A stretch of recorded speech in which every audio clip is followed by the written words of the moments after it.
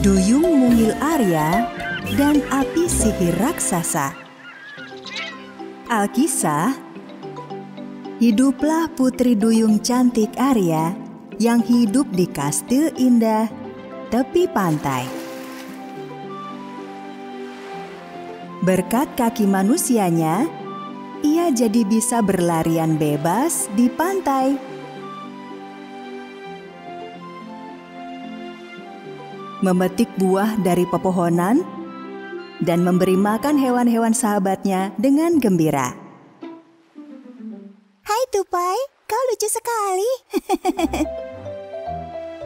Satu hari, kala Arya kembali dari pantai menuju kastil, ia berhenti di dermaga dan menatap ke laut. Di kejauhan, ia melihat ombak besar dan asap mengepul di lautan. Ia berpikir sesuatu yang buruk terjadi. Ombaknya besar sekali. Sesuatu yang buruk terjadi di bawah laut. Dengan panik ia melompat dari dermaga lalu berenang ke lautan dalam. Ekor ikannya muncul begitu ia menyentuh air. Saat ia berenang, ia merasakan suhu air berubah. Oh, ada yang tidak beres. Mestinya makin berenang ke dalam, air semakin dingin. Mengapa justru menghangat? Airnya semakin hangat, hingga bahkan ujung ekor Arya memerah.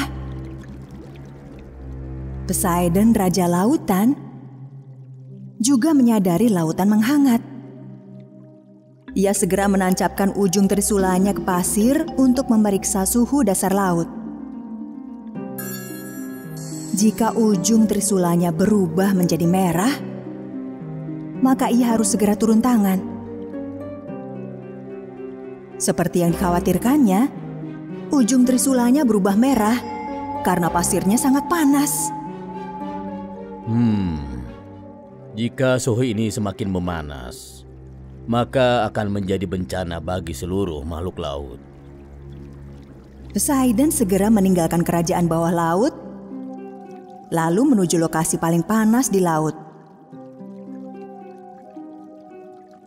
Arya melihat bahwa gerombolan ikan yang ditemuinya mengalami efek buruk dari perubahan suhu air laut. Saat itu, dolphin mungil Dolphy mendatangi Arya. Ekornya memerah karena panas. Arya, aku berkeliling mencarimu. Apa yang terjadi? Mengapa air begitu panas? Lihat ekorku ini. Ya, ekor kita menjadi merah, Dolphy.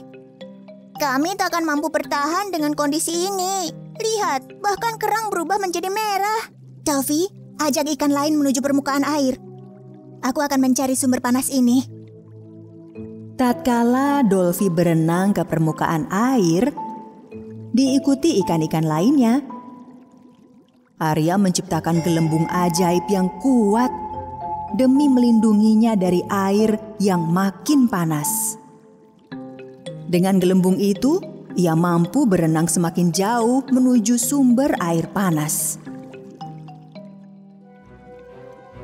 Penyihir laut Vega, gurita jahat di lautan, tidak terpengaruh dengan naiknya suhu air laut. Bahkan, ia terlihat sangat gembira. Apa pendapatmu tentang hangatnya guaku ini, ular? Udaranya bagus untuk liburan yang mulia. Panas sekali. Mari kita panaskan lagi suhu di luar dan bersenang-senang. Penyihir Vega menciptakan api sihir di bawah guanya sehingga lautan menjadi sepanas api. Mari kita panaskan sedikit lagi hingga semua ikan melarikan diri dan kerajaan bawah laut ditinggalkan untukku. Saat Vega hendak membesarkan api dengan sihirnya, kakaknya Poseidon sang raja tiba di sampingnya. Teganya kau melakukan ini. Karena panas, ribuan ikan harus meninggalkan rumah mereka menuju ke permukaan. Kau bisa menghancurkan kehidupan kita. Poseidon, menjauhlah. Jangan ikut campur atau akan kubuat apinya semakin besar dan panas. Poseidon tak menghiraukan kata-kata Vega. Meski sangat panas, ia gunakan trisula ajaibnya untuk memadamkan api. Namun gagal.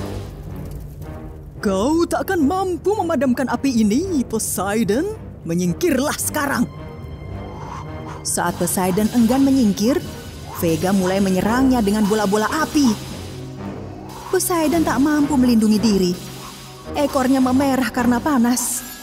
Ketika kekuatannya melemah, ia merasa tak berdaya dan berusaha mundur menuju permukaan air. Namun Vega merasa ini kesempatan mengalahkan raja dan melemparkan jala ke arah raja.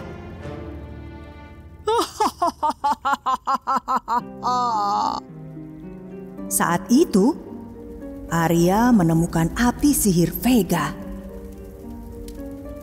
Vega, mestinya aku tahu kalau kau yang menciptakan api di bawah air dan menakuti ikan-ikan.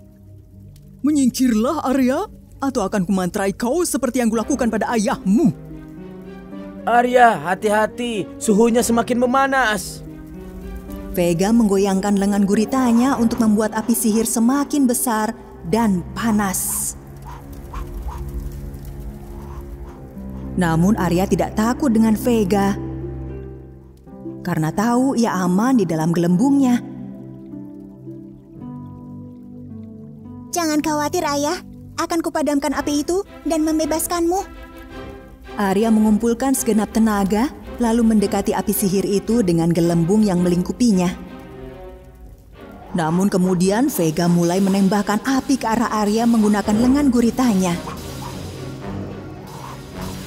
Gelembung Arya menghentikan serangan api itu dan melindunginya. Aku bisa memadamkan api itu menggunakan es batu. Duyung Arya kemudian mulai berkonsentrasi dan menciptakan es batu mungil di tangannya. Ia meniup es batu itu keluar dari gelembung. Es batu itu makin membesar menjadi balok es raksasa. Vega yang menyaksikan itu tak mampu menyembunyikan takjubnya kala melihat ukuran es batu itu.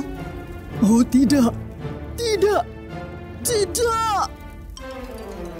Balok es itu jatuh di atas api sihir sehingga memadamkan api bawah laut itu. Lalu Arya menyelamatkan ayahnya yang terkurung dalam jala.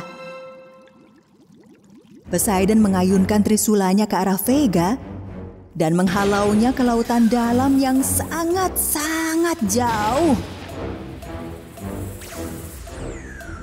Tidak!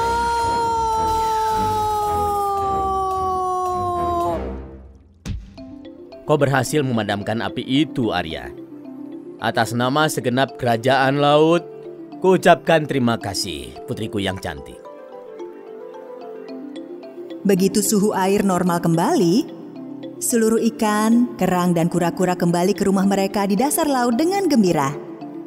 Hore, menggembirakan sekali. Kita terselamatkan lagi. Air laut memang dingin, namun ikan yang hidup di sana tidak pernah kehilangan kehangatan di hati mereka. Halo teman-teman. Aku gembira kalian selamat.